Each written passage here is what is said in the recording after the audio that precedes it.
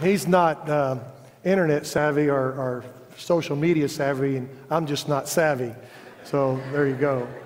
Uh, hey, uh, Cork Smalley, 90 years old, and his wife Barb, she's not as old as he is, but she's left, and their beautiful family, and they have a visitation tomorrow here. I think it's like 11 to 1 or 10 to 1, 11 to 1, and the funeral's at 1. So just want to make you aware.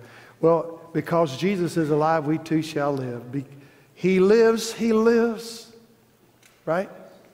He is alive. And I live, I live because he is risen. I live, I live with power over sin. I live, I live because he is risen. I live, I live to worship him. Can you say that? Amen. Y'all, y'all, can you just write Pastor Brett letters and tell him that I ought to be doing solos? I'd appreciate it. Um, you see, when the Holy Spirit comes in, he makes you alive. Uh, we can believe the facts of this book, but it doesn't save us. It's the power of the Spirit. The same Holy Spirit that raised Jesus from the dead comes in and raises you from the dead and makes your heart new and makes you alive in Christ. It's a powerful thing, the grace of God, the power of God, the Spirit of God. You know, I, I will tell you that both Christmas and Easter has roots in it that are rotten. But today, we know the truth about Jesus, born of a virgin, living a sinless life. You know, um, and the fact that he went on the cross and died for us, right? And he paid the penalty that I should have paid for my own sin. And he was buried, and for three days he was buried, but he rose again, and he lives forevermore. And he told us he would rise again. Guess what he else told us? He told us he's coming again. And just like he rose, he's going to come back. You believe that? Someday Jesus is coming back. I can tell you. Today's message is called Jesus is Risen, and he is risen indeed. Uh, 1 Corinthians, we're going to turn to chapter 15. That's the resurrection chapter. So turn in your Bibles uh, to 1 Corinthians 15. Turn in your mobile device. You can use uh, uh Gateway uh, BibleGateway.com, but use your mobile device if you want to. It's okay to read the Bible from a mobile device. But the scriptures make it clear that it is not okay to tweet in church. Just so, you, in case you had any question. But you can read the Bible on your mobile device, so pay attention as we look. A little background on this passage Corinthians, the church at Corinth, they were, uh, they were in the Gnosticism, so they had been Gnostics. And that's their background, which Gnosticism comes from the Greek word gnosko, which means to know. And the uh, Corinthians worshiped knowledge. And they did not, they, oh, they also came from uh, a, a, a Greek mythology background, and because of that, they didn't believe in the resurrection of the dead. In fact, one little thing I haven't told the other services, that is this, is that they would say, well, if Jesus was God, God can't die. So they denied the humanity when Jesus left heaven and he took up on form of a servant and became a man. So they just didn't believe Jesus died. So they had problems. And Paul is addressing this problem. And he's talking to them. And Paul, in this passage we're going to read, he in no way is he trying to convince them that Jesus rose from the dead. Today we try to convince people Jesus really did rise from the dead. Everybody knew it, it was a known fact. He didn't need to convince them. They knew he rose from the dead. In this particular case, he's writing to say there is a bodily resurrection of, of the believer that dies. You got people that have died in Christ, they're your loved ones, their body's going to come up out of that grave. Ain't no grave going to hold its body down. Ain't no grave going to hold this body down. That's right. And you're living when that trumpet sounds and Christ calls and you're alive and you're following Jesus. You're going to fly away just like the song said, in a moment, twinkling of an eye, boom, from heaven to earth, join with those that are dead in the grave to be with the Lord forever. Wherefore, comfort one another with these words, is what the scripture says. Now, even though the Corinthians are that they, you know, they, they believed in eternal life. They just didn't believe in this bodily resurrection. So get a hold of that. This is what Paul is addressing as we read. You need to understand that. He says this in verse 12 of 1 Corinthians 15, which is the resurrection chapter. It talks about a terrestrial body, it talks about a celestial body, earthly body, a heavenly body. Read it, 1 Corinthians 15 this week sometime. Verse 12, we're picking up. Now, if Christ is preached that he's been raised from the dead, how do some of among you say that there's no resurrection of the dead? But if there's no resurrection of the dead, then Christ is not risen. And if Christ is not risen, then our preaching is empty, and your faith is also empty. Verse 17 says this And if Christ is not risen, your faith is futile. Your faith is futile if he's not risen. You are still in your sins. That's not good news. Verse 18 says, Then also those who have fallen asleep, or in other words, have died in Christ, have perished. They're gone. It's over. Obviously, we know that Jesus rose from the dead. The scripture makes it plain. But what's interesting is Paul is using the bodily resurrection of Jesus as proof that we too, as believers, when we're buried, will rise and have a bodily resurrection. You see, Jesus had, after the resurrection, for 40 days, he appeared to people. Okay? They touched him. He said, Thomas, touch my hand. Look at my side. Uh, when, when the women came to him and as they were going to tell the disciples that he was alive, you'll see later we read, they grabbed a hold of his feet and worshiped him. He had a physical body. He ate. He spoke to them. He had a physical body, but he also had a heavenly body. Yeah, a spiritual body. In fact, the disciples are a little bit fearful after Jesus had been put to death on the cross. They were hiding behind locked doors. The doors were locked, right? And Jesus went right through and appeared to them. So I just got news for you. When we all get to heaven, and it ain't going to be Hotel California. It's going to be heaven where the streets are gold. So tell the Eagles it's not Hotel California. Okay? When we get to heaven, guess what? I'm going to walk right through the walls. You can lock your doors all you want, and I'm coming in. So just get ready. Yeah, you remember that now. so, so the reason that Paul doesn't try to prove that Jesus is risen from the dead is because everybody knew it. And the rabbis even knew it. In rabbinical literature, you'll see that they're trying to explain away because they couldn't deny the resurrection of Jesus. It was such a known fact. So they would say, and, and, and you can read uh, Josephus, you can read Pliny, you can read a number of uh, Eusebius, you can read a number of other historians, you can read the rabbinical writings. It's documented well. And many times, here's what they say. Well, one of, some of the things that they would say is this. Uh, they would say, uh, well, when he was in Egypt, he learned magic power and he raised himself from the dead. And can you believe they would come up with that? I mean, here's the deal. We know the date that uh, uh, the crazy man that was wanting to put him to death uh, was went and died. We know. We have it recorded in history. We know when he died. What was his name? My mind is blank as can be. Herod, yes, Herod. We know when he died. And Jesus had gone, they'd gone off to Egypt, remember? And so there is no doubt he was Jesus couldn't have been more than four years old. How ludicrous of a story to write in history accusing Jesus from magic he learned by the time he was four that he could raise himself from the dead. And another one they say, and they accused him of the miracles he did, that he did it by the power of Beelzebub or by the devil. And so also historians write that he used inappropriately the name of Yahweh to, and says, Cursed is the man that uses the name of Yahweh to raise himself from the dead, and over and over. Because, listen, guys, there was no doubt in that time that Jesus rose from the dead. It was an absolute fact. No one could deny it. And so we pick back up to 1 Corinthians 15 3.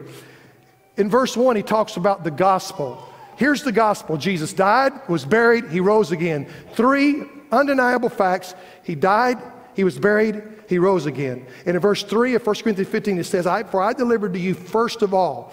First of all could be of first importance. In theology, it's called the law of first importance. It's the most central truth in the scripture. If Jesus is dead, Paul says, Your faith is vain, there's no hope. The only hope is in the resurrection of Jesus because if he's dead, we all die and we're done. right? So the resurrection of Jesus is central to our faith, the most important truth of our faith in Jesus Christ. So he says, I delivered you first of all that which I also received. Number one, Christ died for our sins. When he died, he didn't just die, he died for our sins. He paid my penalty for my sin. I should have been crucified. I should have died. My blood should have been shed for my own sins, but Jesus took my place. He died for our sins according to the scriptures, and that he was buried. And that's the second thing, and that he rose again the third day according to the scriptures. And look at this that he was seen by Cephas. Cephas is Aramaic for Peter, the Greek is Peter. Okay, remember he was the one that was afraid and he denied Christ and he was hiding and cursed and said, I don't even know him. Get away from me. Leave me alone. Big sissy old Peter. But after he saw him risen from the dead, he became mighty Peter. And the Holy Spirit visited him and he preached. And what did he preach? All through Acts, what did they preach? The resurrection of Christ, the resurrection of Christ, the resurrection of Christ. In the face of a culture that doesn't believe it, they preached Jesus, risen from the dead, crucified on the cross, buried, and risen from the dead. The gospel, they preached it, and it's powerful. And so he was seen by Cephas, then by the 12, and that's the replacement of Judas. So you're concerned, because Judas wasn't there, but the, but the disciple that replaced him saw him alive. And after that, he was seen by 500 brethren at once. In other words, the same time, there were 500 people that saw him. And then he goes on and he says, Of whom the greater part remain to this present. What is he saying? He's saying 500 people saw him together, and most of them are still alive. Go ask them. Undeniable. He's just pointing it out. Jesus is alive. Undeniable. And then look at the next one. And he says, eh, Well, then, and it says, But some have fallen asleep. And after that, he said, He was seen by James. Which James is this? This is the brother of Jesus. Why is that important? You study the life of James and you have enough proof right in him alone that Jesus rose from the dead. I want to give you a scripture I want you to look up. Mark it down. Even you Bible theologians don't know that this is here. Mark 3 21. Mark 3 21.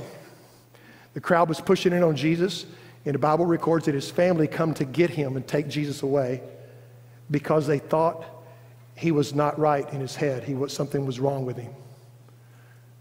I mean, after all, if you're the brother, sisters of Jesus, and he's claimed to be and acts like that, they're going to take him away. It is clear in history James did not believe in his brother Jesus at all, right? That's why he's listed here. James saw him alive. And later in history, I don't remember exactly, I think it's about 80, 80 49, something, I don't remember exactly, but it's recorded in multiple places as well as scripture that James is the head of the church. He's the guy, he wrote the book of James in the New Testament the brother of Jesus, right? And that he's the head of the church. And then this Christianity, listen, if Jesus was dead, how can a dead man that was crucified spread so fast and have so many followers that were willing to die? Saul himself. And it goes on, it says, and I saw him too. Like the next verse says, I, Saul, Saul says, or Paul says, I saw him, not in due time. But, you know, and, and here he is the one putting people to death for being followers of Jesus because they thought it was blasphemous. But when Saul met Jesus on the road to Damascus, his life was changed and he became a martyr. The disciples became martyrs. And Jesus turned, and he was the head of the church. And the history, historians in multiple places record that this thing about Jesus was going so crazy that the religious leaders, because he was the head of that sect of Judaism, the, the Christian sect, they told him, You get up on top of that, that pinnacle, you get up on top of the wall of the Temple Mount, you stand up there and you tell those people, Jesus is not risen from the dead, he is not the Messiah, and to stop all this madness. And instead, the, the, history records with a loud voice, he gets up and declares Jesus Christ, risen from the dead, the righteous one, the Holy One of Israel, God Almighty. And they came, they were so angry, they pushed him off. He fell. I've been there, I've watched it, I've stood right where it was, I've looked at the, and there's where he landed. And they finished him off. And James died. But before they did, they said, Whoa, he's saying something. And he said, Father, forgive them. They know not what they do just like Stephen when he was stoned, just like Jesus on the cross. James saw him alive. It changed him, folks. It changed him. And then by the apostles, uh, apostles in verse 8, then last of all, he was seen by also, seen by me also, born out of due time. And of course, speaking of his road to Damascus appearance where Jesus came to him. There's no doubt Jesus rose from the dead. Scripture, medical science, his death, His burial, his resurrection, medical science, scripture, history, ancient literature all prove without of a doubt the fact that Jesus died, he was crucified, he was buried, and he raised from the dead. He was risen from the dead. And it's the good news that was preached, and that's the good news we have today. The first thing we see, number one of these indisputable facts, is Jesus, he died. Turn to John 19, okay? Now, if you, you know, you can go online and listen to this again, but let me just tell you, I'm giving you enough st- stuff here. This, I'm going to give you enough stuff, but at the end of this thing, listen to me now care carefully. You don't have to have faith to believe it. You just do the research, just like you believe in Nero, just like you believe in Alexander the Great, just like you believe in any other historical fact. There's history upon history upon history, extra biblical, ancient literature, proving the facts are. If you want, eh, the only reason people don't want to look is because they don't want authority over them. They don't want to surrender to a God in God's ways. The Bible says our, our, our God's ways are not our ways, and the, a way that seems right to man leads to destruction.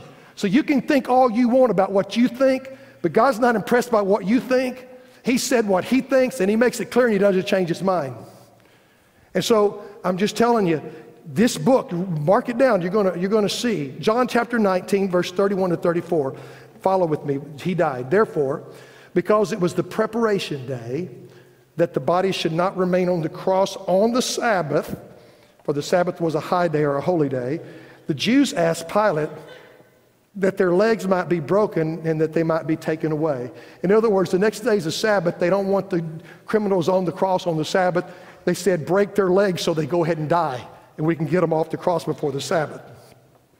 Then the soldiers came and broke the legs of the first and the other who was crucified with him, the two thieves. They broke their legs and then they died. But when they came to Jesus and saw that he was already dead, they did not break his legs. He was already dead. But one of the soldiers pierced his side with a spear, and immediately blood and water came out. And then look down at verse 36. John 19, for those things were done that the scripture should be fulfilled. Not one of his bones shall be broken. And again, another scripture says, they shall look on him whom they pierced. There is no doubt at all that Jesus Christ died on that cross. In March 21, 1986, the Journal of American Medical Association came out with a story in their magazine, that March 21, 1986 edition. I've got a copy of it. You can find it if you go to godandscience.org, godandscience.org, and put, the put in their Journal of America, JAMA, Journal of American Association, uh, March 21, 1986, and the resurrection of Jesus Christ. I mean, the crucifixion of Jesus Christ is the article. And in that, they use scripture, but they also use historical documents from the time and modern medical science to verify what the Bible record is and what the historical record is, whether it's accurate about his dying on the cross. They do that study to see what happened, and you'll see uh, how they were crucifying at the time Jesus uh, died on the cross.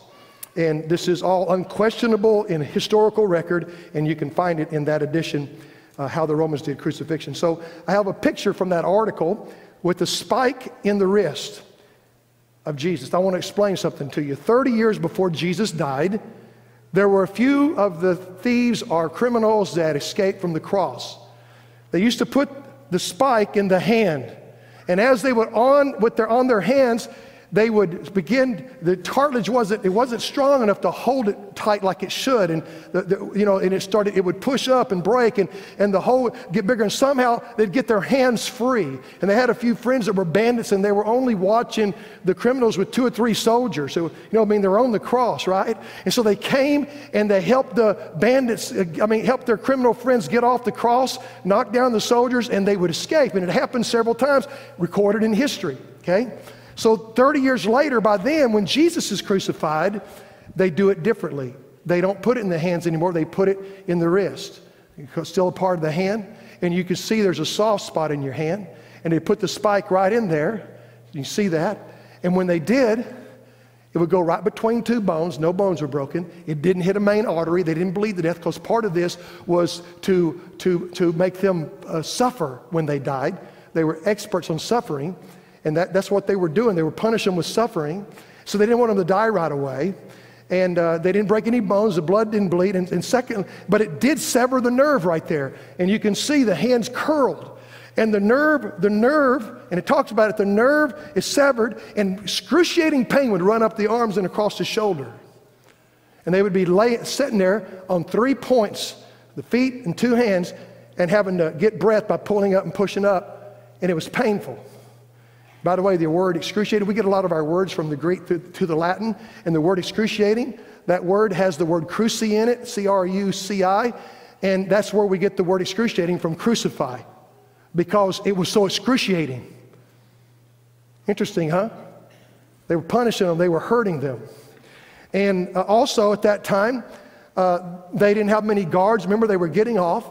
And so when Jesus was crucified, a garrison is 100 soldiers. A centurion, the word cent means 100. The centurion was the leader of 100 soldiers. And the centurion, you remember the centurion, the Bible records that he bowed down and says, Truly, this is the Son of God after all the crucifixion and all the, uh, the earthquake and everything that happened on the cross. Remember that? He confessed Jesus as Lord, the centurion, the head of, the, of that garrison of the 100 soldiers. There was no way Jesus was going to get out of there. I mean, they had him on that cross and they had enough soldiers, nobody was going to take that body. And he died on that cross. The second picture is a picture of the feet on the cross. Not only a spike to the hands, but through the feet. And, and, and 30 years before, when they were starting to get off, and you'll see this depicted in a lot of the crosses, they'd build a little platform on the, the down beam. And they would put their feet on top of the platform like this and drill the spike down through. But at the time Jesus was crucified, they bent the knee and they put the spike straight into the down beam, the up and down beam. They spiked him straight in, put the right foot over the left foot. And if you'll notice, and this talks about it in the medical journal here, that they that in the soft spot on the feet, you have that too, that that spike would go right between the bones. It didn't break any bones, didn't make them bleed, and it was in securely, and they couldn't get their feet off. Okay? And so that, that's that's important to understand that. And, uh, and, then, and you go, and, and, and by the way, the reason they would break their legs so they'd go ahead and die, people would stay, it's recorded often, two, three days on the cross being crucified. Even reports of people four days on that cross, four days being crucified. Believe that? So that's why they broke the legs, because it's Sabbath day. They, they wanted them to, to die, and they would suffocate after the legs were broken. The next picture from the, from the journal is the piercing of the side. The record says in, in, in, in the medical proof of the American Medical Association, that journal, that article, it says that when blood and water came out, it was proof that he was dead already. Absolute proof. And because blood and water, they know that they pierced him on the right side. They went through the lung into the heart. And secondly, because of how the blood and water came out, he died of a burst heart. His heart burst. Let me say it a different way his heart was broken. Jesus said, No man will take my life from me. I willingly lay my life down. And Bible records that he cries out and he gives up the ghost. He breathes his last as if Jesus chooses the time and the moment. Because it was so unprecedented for him when they came to break the legs that he was already dead and they had to break both of the others' legs, but not Jesus. Again, if you just want proof, the fact that there's a historical record they didn't break is that was prophesied that the Messiah that they have no broken bones and that they would look upon the one they pierced. It's just like the scripture we read. So, number one, he died. Number two, he was buried. Turn to Matthew 27. There will also be in Matthew 28. So get your Bibles open. Use your little, little device there, you wizards. Matthew's the first book in the New Testament, the gospel book, telling about the life of Jesus Christ, his death and burial, resurrection. Verse 62, Matthew 27. On the next day, which followed the day of preparation, the chief priests and Pharisees gathered together to Pilate, saying, Sir, we remember while he was still alive how that deceiver, talking to Jesus, said, After three days I will rise. Notice who it is.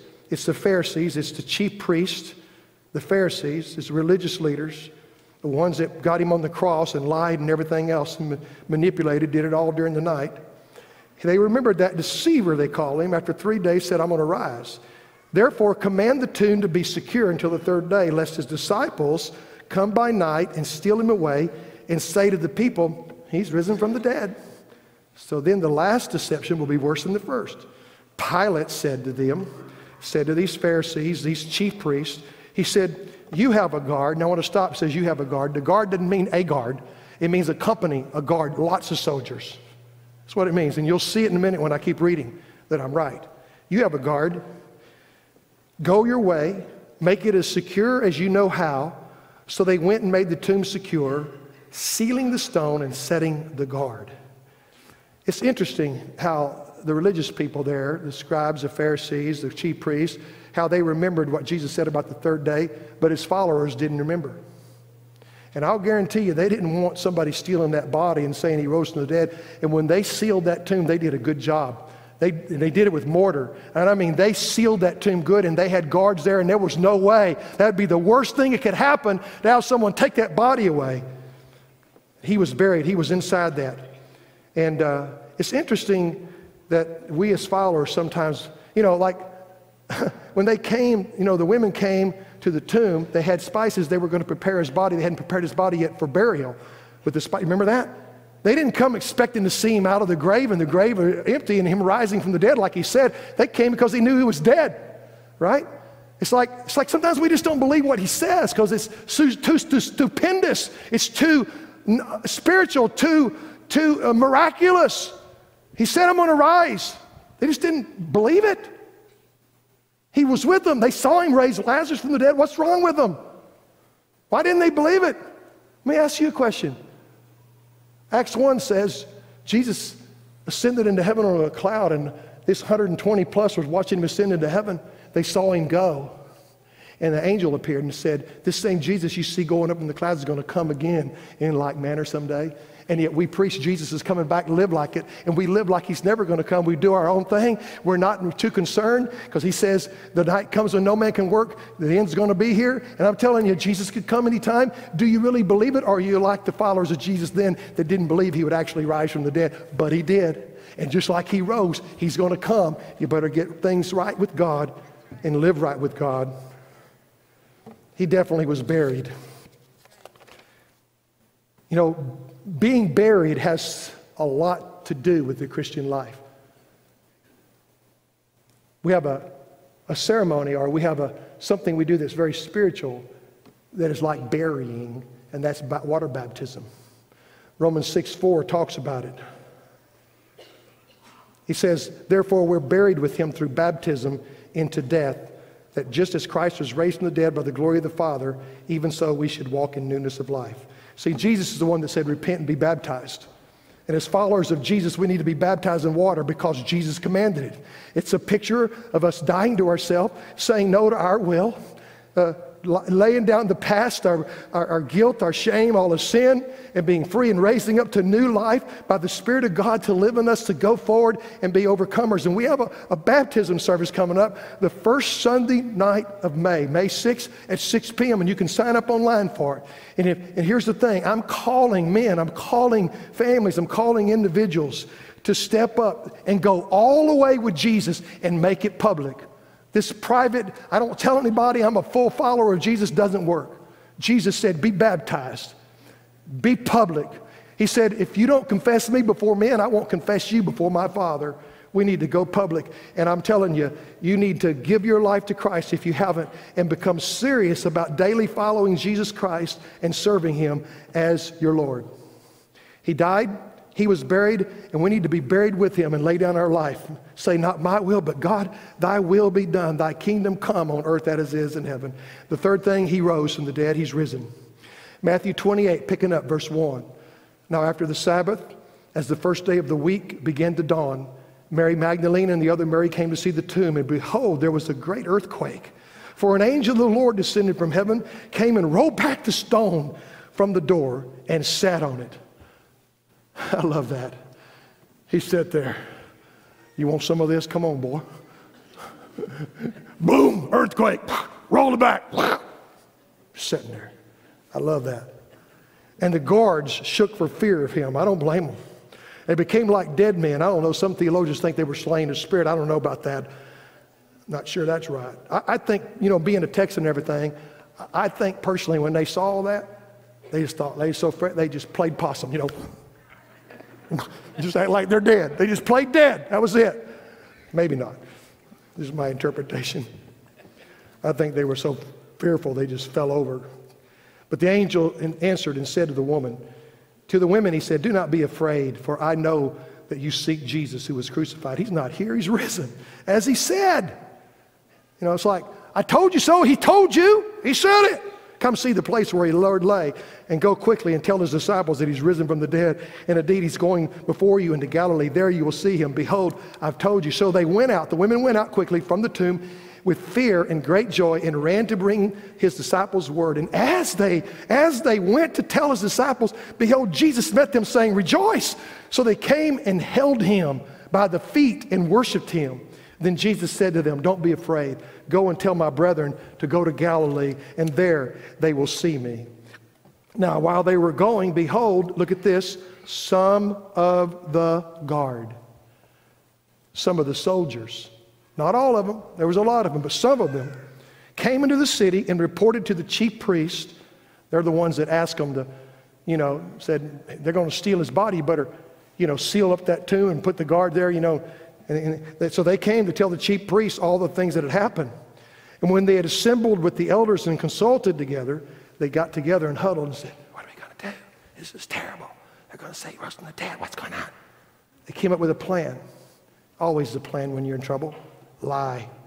They consulted together. They gave a large sum of money. They bribed them to the soldiers, saying, Tell them his disciples came at night and stole him away while we slept. And if this comes to the governor's ears, in other words, you could get in trouble there, right? You know, oh, we will pay him off too, or we will appease him and make you secure. Don't worry. It's okay to lie if you get in trouble for it. We'll bribe them and pay them so you don't get in trouble. So they took the money and did as they were instructed. And this saying is commonly reported among the Jews until this day, as he's writing to the Corinthians. I mean, right, as Matthew's writing this gospel.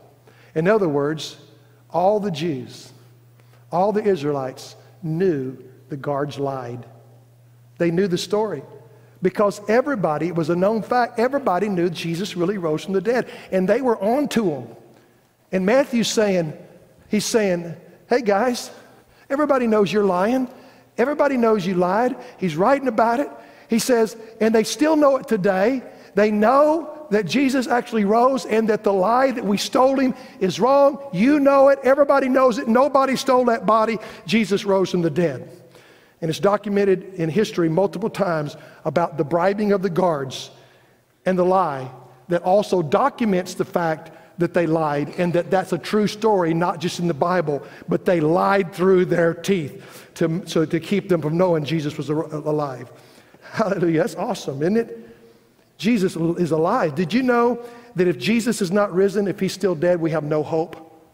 I mean, we're done. When we, we die, we know there's no hope without Jesus, outside of Jesus. He's the only God, the only deity that's alive, that's risen from the dead, that conquered death, hell, and the grave. And you know that hope has a name? The only name by which a man can be saved, and that name is Jesus. Hope has a name, it's Jesus.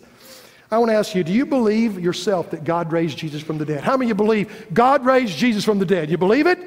Did you know that it's impossible to be saved? It's impossible to be saved and have your sins forgiven and be a Christian and be a follower of Jesus truly accepted by God unless you believe that God raised Jesus from the dead. You have to believe that. The Bible says so. Romans 10 9. Look at the scripture, Romans 10 9. If you confess with your mouth the Lord Jesus. That means that you don't just give lip service and believe the story, but you make him your ruler, your Lord. You say, Your will, not my will, Lord Jesus, and believe in your heart. In other words, truly believe that God raised him from the dead, you will be saved. If you confess Jesus as your Lord, believe in your heart that God raised him from the dead, you'll be saved. And I'm challenging you today, all of you, to go all the way with Jesus, make him Lord. Don't stop short. Go public. I'm challenging men, I'm challenging men to rise up and be leaders and say, as Joshua of old, as for me and my house, we will serve the Lord. You know, many men go to church to appease their wife. Many men want to stay in their seat to get saved or be a nominal Christian or believe it, but not be fully devoted. And they don't want lots of people they know to know. And when I say to men, you, you need to come and publicly declare Jesus as your Savior and Lord, they don't want to do it. But Jesus says, again, I said, says, if you won't confess me before men, I will not confess you before my Father in heaven. One of the most moving moments in my ministry, I remember coming down the aisle. I wasn't the preacher, I didn't preach hardly ever. This huge guy. He was about six seven. He probably weighed 350. And he come down. He had big old long legs. He's walking down that aisle. Right behind him is his elementary boy. He's got short legs, but he's trying to follow the same stride. And he's stepping as long as he can, following his dad to that altar to give his life to Jesus. Grandfather, dad, if you want your grandchildren, you want your children to be a follower of Jesus, you got to make a declaration. You got to go public. You got to go all in. Make a public commitment, confession to Jesus. And I'm challenging men to go all in for Jesus. It's important to take that public stand. So I'm asking you, will you today totally surrender to Jesus the Lord? Confess to all people with your mouth that God has raised him from the dead and that he's your Lord. Will you let Jesus, the risen Lord, be your personal Lord and Savior? Will you submit yourself, if you haven't been baptized in water, to obey Jesus, to repent and be baptized? I want you to bow your head with me and close your eyes. I want to help you come to Jesus. I want to help you by leading in a prayer.